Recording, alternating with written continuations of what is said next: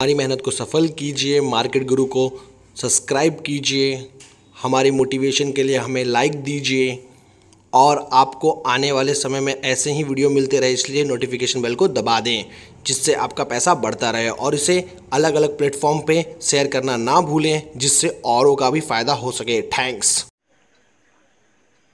नमस्कार, मेरा नाम राकेश सिंह और आप देख रहे हैं मार्केट गुरु। मार्केट गुरु के इस वीडियो में मैं जिस शेयर के बारे में जानकारी लेकर आया उसका नाम है फेडरल बैंक ये शेयर जो है मुझे काफ़ी अच्छा लगता है और ये मुझे लगता है कि आने वाले समय में ये शेयर आपको बहुत ज़्यादा रिटर्न दे सकता है। मैं अपने हर दर्शक से कहना चाहूँगा, जो मेरे को रेगुलर फॉलो करते हैं, मैं उन्हें कहना चाहूँगा, इस शेयर को ज़रूर खरीद लीजिएगा।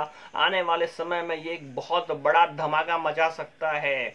हर गिरावट में इस शेयर को ज़रूर खरीदिएगा। इस वीडियो में मैं इससे जुड़ी, इसके रिज़ल्ट के बारे में और इसके कंपनी के कुछ प्रॉन्स, कुछ कॉन्स कॉन्स के बारे में बात करूँगा और एंड में, इस वीडियो के एंड में मैं इसके टेक्निकल लेवल बताऊँगा कि कौन कौन से लेवल पर आपको ध्यान देना चाहिए और कौन कौन से लेवल पर आपको इस शेयर को एक्यूमुलेट करना चाहिए। तो वीडियो को अंत तक ज़रूर देखें। तो चलिए वीडियो को शुरू करते हैं।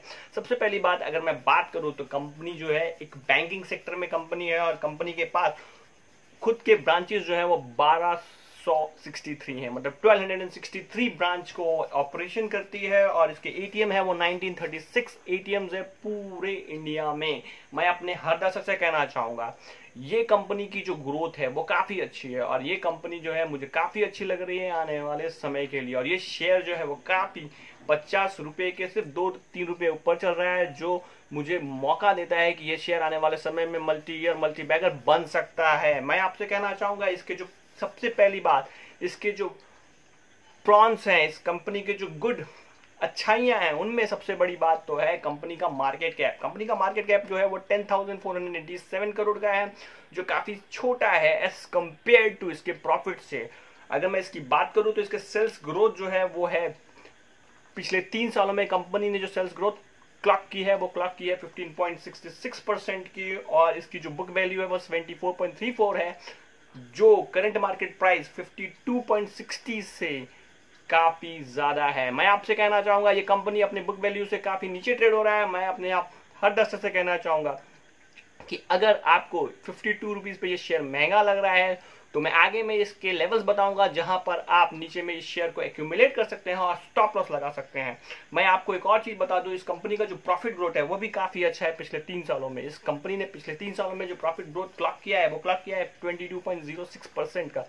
मुझे लगता है कि अगर ये कंपनी ऐसे ही प्रॉफिट ग्रोथ आने वाले दिनों में क्लॉक कर पाएगी तो ये कंपनी जो है यहाँ से मल्टी ईयर बनने के लिए पूरी तरह से तैयार है। मैं अपने हर दर्शक से कहना चाहूँगा कि इस, इसके जो प्रॉन्स है मतलब उनकी अच्छाइयाँ हैं, उसमें से एक और अच्छा ये है कि कंपनी ने अभी तक माइनस थर्टी नाइन परसेंट का रिटर्न दिया है, जो हमारे जैसे, हम जैसे निवेशक के लिए काफ़ी ज़रूरी है। आप बोलेंगे कि भाई बैंकिंग सेक्टर तो अच्छा परफॉर्म नहीं कर रहे हैं तो क्या बैंकिंग सेक्टर अगले अगले साल तक भी अच्छे परफॉर्म नहीं करेंगे। मुझे नहीं लगता। मुझे लगता है कि आने वाले छह से नौ महीने में इनका टर्न अराउंड होगा और ये शेयर जो है, वो काफ़ी अच्छा परफॉर्म ज़रूर करेंगे। और आप बोल सकते हो कि पिछले 18 महीने से बैंकिंग सेक्टर अच्छी तरह से परफॉर्म नहीं कर रहे तो मैं बोल रहा हूँ कि इसमें मैं बहुत ज़्यादा बुलिश हूँ। कंपनियाँ बहुत अच्छा परफॉर्म कर रही हैं। इनकी एसेट्स जो क्वालिटी जो है, वो इम्प्रूव हो रही है।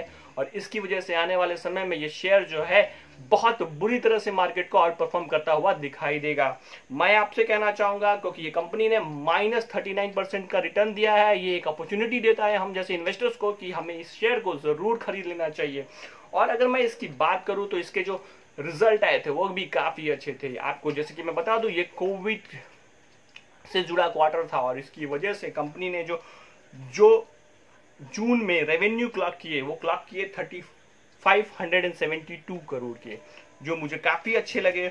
और जो पिछली साल, इसी क्वार्टर में, जून क्वार्टर में thirty two hundred ninety five crore के, जो जो इंक्रीज है एट पॉइंट फोर परसेंट का इंक्रीज है। पर अगर मैं पिछले क्वार्टर की बात करूँ, मार्च वाले, उससे अगर मैं क्लॉक बात करूँ तो कंपनी ने क्वार्टर एंड क्वार्टर भी ग्रोथ बताया है, जो जो पिछले क्वार्टर में कंपनी की जो ग्रोथ थी, वो 3544 करोड़ की थी, जो 0.8 परसेंट इंक्रीज है क्वार्टर एंड क्वार्टर जैसे कि मैं आपको बता दूँ, ये कोविड से जुड़ा हुआ क्वार्टर था, फिर भी कंपनी ने अपने सेल्स को ऑन क्वार्टर एंड क्वार्टर और ईयर ऑन ईयर बेसिस अपने सेल्स को बढ़ाया है, जो मुझे काफ़ी ज़्यादा प्रभावित कर गया।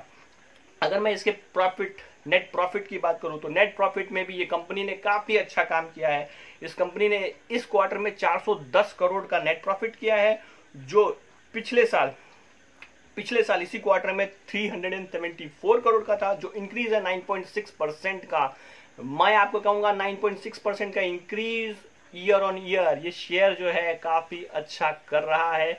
और मुझे लगता है कि अगर इस समय में भी कंपनी ने पिछले साल के इसी क्वार्टर को आउट परफॉर्म किया है तो मुझे लगता है कि आने वाले समय में ये शेयर जो है, भी अपना इसके जो रेट्स हैं, उसमें भी ये चीज़ ज़रूर दर्शाएगी। और अगर मैं बात करूँ इसका पिछले पिछले क्वार्टर से, अगर इसके सेल्स प्रॉफिट की बात करूँ तो ये 329 करोड़ था, जो क्वार्टर एंड क्वार्टर इंक्रीज है 24.6 परसेंट का, जो बहुत ही अच्छा माना जाएगा। इस कंपनी की बैलेंस शीट में स्लो डाउन नहीं है। ये इस कंपनी की बैलेंस शीट में सबसे अच्छी बात मुझे यही लगी कि ये कंपनी जो है कोविड एरा में भी स्लो डाउन करती हुई नहीं दिखाई दे रही।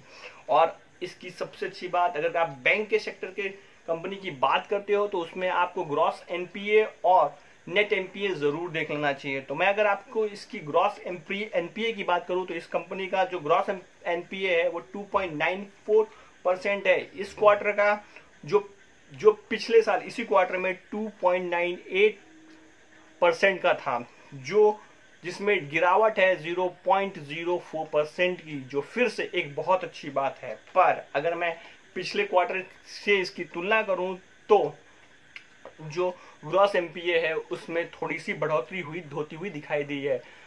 पिछले पिछले क्वार्टर में इस कंपनी का जो ग्रॉस एमपीए था, वो 2.82 परसेंट का था, जो इंक्रीज है 0.12 परसेंट का। कंपनी का जो ग्रॉस एमपीए है, वो बढ़ता हुआ दिखाई दिया है इस क्वार्टर में। और अगर मैं इसके नेट एनपीए की बात करूँ तो नेट एनपीए में बहुत ज़बरदस्त, अच्छी तरह से बहुत अच्छा इजाफा हुआ है। इसका जो नेट एनपीए है 1.23 परसेंट का है, जो पिछले साल इसी क्वार्टर में 1.50 का था। जो मैं आपको बता दू नेट एनपीए में गिरावट है 0.27 परसेंट की मतलब कि कंपनी ने काफ़ी अच्छा परफॉर्मेंस किया है on on net net non performing assets की तरफ़। और अगर मैं इसकी, इसका तुलना पिछले क्वार्टर से करूँ तो 1.32 परसेंट है, जिसमें भी, जिससे भी 0.18 परसेंट गिरा है net net non performing assets NPA जो गिरा है 0.18 परसेंट जो फिर से एक बैंकिंग कंपनी के लिए काफ़ी अच्छा है। और मैं आपसे कहना चाहूँगा, ये कंपनी जो है, आने वाले समय में बहुत बेहतरीन रिटर्न ज़रूर देगी। और ये जो मेन रीज़न थे, इसकी वजह से जो मैं आपको बोल रहा हूँ, इस कंपनी के सेल्स इंक्रीज हो रही है प्रॉफिट इंक्रीज हो रहा है। नेट एनपीए जो है, वो काबू में है। और क्या चाहिए आपको किसी भी बैंकिंग कंपनी में निवेश करने के लिए। और मैं आपसे कहना चाहूँगा कि आप इसमें अगर ये शेयर आने वाले समय में नीचे जाता है तो ज़रूर खरीदिएगा। अपने बेल, अपने पोर्टफोलियो में इस शेयर को ज़रूर एंट्री दीजिएगा। आने वाले समय में ये शेयर आपको माला माल कर सकता है। जैसे कि मैं अपने हर वीडियो में आपको अपने टेक्निकल लेवल्स के बारे में बताता हूँ तो चलिए उसे भी जान लेते हैं। तो सबसे पहली बात, ये शेयर बुलिश कब हो जाएगा? ये शेयर बुलिश तब हो जाएगा जब ये शेयर 56 को पार करेगा। अगर ये शेयर 56 को पार नहीं करता तो मैं आपको कहना चाहूँगा कि ये शेयर जो है, नीचे में आएगा 47 पर। जब ये शेयर नीचे में 47 पर आए, और अगर आपकी पोजीशन है इस शेयर में तो आप ऊपर में 56 के लेवल्स को ध्यान में रखिए। अगर ये नहीं तोड़ता है तो आप उसे बेच दीजिए। और अगर ये 56 को तोड़ता है तो ये ऊपर में बहुत सारे लेवल्स बनाएगा पर अगर ये नीचे 47 आता है तो आप इसमें स्टॉप लॉस लगाइए फोर्टी थ्री रुपीज़ का। फोर्टी थ्री रुपीज़ का आप इसमें स्टॉप लॉस लगाइए। ऊपर में ये शेयर आने वाले दिनों में मैं आपको कहना चाहूँगा आने वाले दिनों में अगर ये 56 पार करता है तो आने वाले दिनों में ये शेयर जो है 69, 83, 89, 98, 110 तक के लेवल्स जो है आने वाले 18 से 24 महीने में आपको दिखा सकता है। मैं अपने हर दर्शक से कहना चाहूँगा ये शेयर जो है वो काफ़ी ज़्यादा अच्छा है। ये शेयर आने वाले 18 से 24 महीने में आपको इतने बड़े टारगेट्स मतलब कि 110 से 110 का टारगेट्स आपको आता हुआ दिखाई दे सकता है। मैं अपने हर दर्शक से कहना चाहूँगा, अगर ये 36 महीने तक इस शेयर में रहते हैं तो जो मेरा टारगेट होगा इस शेयर में वो होगा दो सौ रुपये का। ये शेयर अगले 36 से 42 महीने में दो सौ रुपये तक के टारगेट्स को अचीव कर सकता है। इसकी बैलेंस शीट देखने के बाद इस शेयर के हर चीज़ बहुत अच्छी तरह से इम्प्रूव हो रही है और ये शेयर काबिलियत रखता है आने वाले समय में एक बड़ा बैंक बनने का। मैं अपने हर दर्शक से कहना चाहूँगा कि अगर आप ज़्यादा नहीं खरीद सकते तो आप इस शेयर में 500 की, हज़ार की महीने महीने एसआईपी ज़रूर कर लें और इसमें कम से कम आप पाँच से दस साल रुकें। इस शेयर का जो मेन मेन फ़ायदा आएगा, वो आएगा तीन से पाँच सालों में और ये शेयर आपको मल्टी ईयर मल्टी बैगर बनता हुआ दिखाई देगा। अगर आपको फेडरल बैंक से जुड़ी जानकारी अच्छी लगी तो मेरे चैनल को ज़रूर सब्सक्राइब कीजिएगा। लाइक कीजिएगा नोटिफिकेशन के बटन को दबा दीजिएगा, क्योंकि समय समय पर मैं ऐसे ही शेयर जो आने वाले समय में आपको मोटा मुनाफा दे सके, वो लाता रहता हूँ। तो मिलते हैं आपसे एक नए वीडियो में, एक नए शेयर के साथ। तो आज के लिए बस इतना ही। बाय